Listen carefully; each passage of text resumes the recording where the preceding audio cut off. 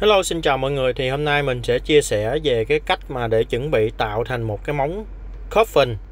Sao cho hoàn chỉnh và nhìn nó đẹp. Và cái trước tiên á, thì chúng ta dán móng. Thì cái điều dán móng thì đương nhiên mình phải dán thẳng rồi. Cái đó mình không nói. Nhưng mà khi mà các bạn làm á các bạn cắt móng tay khách trước. Chúng ta cắt à, cái độ ngắn mà cái độ ngắn vừa phải mà khách muốn. Thì à, khi các bạn cắt xong á các bạn dùng cái đồ cắt thẳng để cắt ra thành cái móng coffin. Các bạn nhớ, trong cái móng, trong khi mà chúng ta làm móng coffin á, thì chúng ta cần có những lưu ý sau đây. Thứ nhất, các bạn cần phải có đủ độ dài để cho móng coffin nhìn đẹp. Khách họ muốn ngắn cũng được, nhưng mà các bạn phải giải thích cho họ biết là móng ngắn đối với coffin thì nó ra không được đẹp lắm. Thứ hai, các bạn phải chú ý, hỏi khách là xem họ muốn coffin như thế nào. Họ muốn coffin skinny, tức là nhỏ, thon ra hay là vẫn còn có độ bè to tí? Và các bạn hỏi khách là có muốn là tròn cái góc cạnh không? Thì những cái bước đó các bạn nên hỏi khách cho rõ khi mà chúng ta làm. Vì sao? Vì cái móng coffin chúng ta rất là khó sửa. Bự chúng ta có thể vừa sửa thành nhỏ được. Nhưng mà khi mà chúng ta đã, cái thói quen của chúng ta giữa nhỏ rồi á, thì chúng ta khó có thể nào mà quay lại thành bự được. Đó. Một các bạn phải gỡ ra hết. Hai các bạn phải đắp thêm bột. Nhưng mà đắp thêm bột thì nó quá lâu mà gỡ ra nó cũng quá lâu. Cho nên để tránh những tình trạng đó thì các bạn nên hỏi khách trước. Ok thì cắt khớp phần á, thì các bạn chủ yếu là chủ yếu là chúng ta cắt hai bên.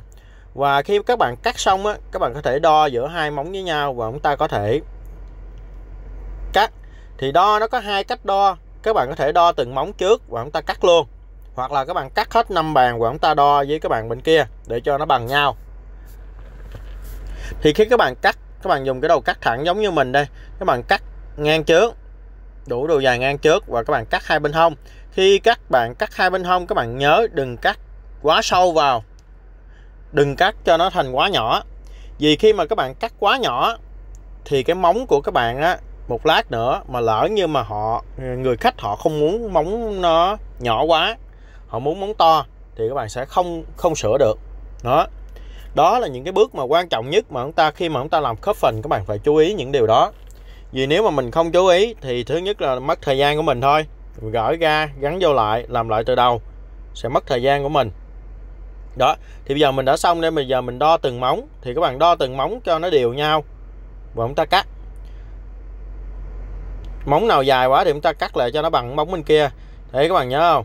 Khi mà mình cắt khớp phần hai bên đừng cắt quá nhiều. Các bạn có thể cắt ít mà các bạn có thể dũa vô được. Còn các bạn cắt nhiều, các bạn không cho thêm được. Đó đó là cái phần khó. Và cái phần cái phần đó mà các bạn không chú ý thì sẽ dễ bị lỗi. Đó, thì khớp phần mình có hai bước. Thứ nhất, bạn có thể dùng dũa xếp này. Chúng ta dũa hai bên hông vào. Để cho thứ nhất tách keo giữa cái dòng da.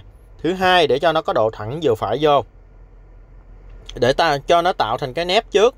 Và như vậy thì nó sẽ dễ dàng hơn khi mà các bạn đắp bột. Nó không có bị tràn qua bên hông nhiều. Đó là một cách. Cách này thì à, những bạn nào mà mới bắt đầu tập thì nên dùng cái cách này để làm. Các bạn nhớ đừng dũa quá nhiều. Các bạn dũa để cho nó tạo cái độ thẳng từ trong ra ngoài thôi.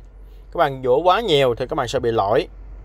Một lát nữa các bạn khó chỉnh khi mà các bạn đắp bột xong đó.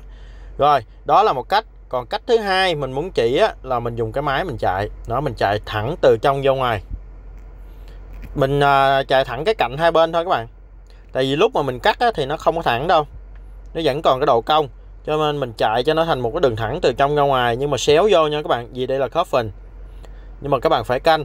Nếu mà cách này á thì nó hơi khó. Nếu như mà các bạn lỡ tay một cái là móng banh liền lỡ tay một cái thôi là móng của mình banh ngay lập tức, bị xéo ngay lập tức. Cho nên muốn làm cách này thì mình phải tập tập trên những cái móng giả, mình cắt xong mình chạy máy. Nhưng mà nếu mà các bạn làm được cách này rồi thì nó rất là nhanh. Nhanh lắm. Nó không mất thời gian của mình. Ok, thì à, video ngày hôm nay mình chỉ chia sẻ. Ok, mình chỉ chia sẻ đến đây thôi. Mong là các bạn sẽ thích video của mình. Nếu thích thì đừng quên ấn like, share và đăng ký kênh của mình nha mọi người. Xin chào và hẹn gặp lại các bạn trong những video kế tiếp. Bye bye.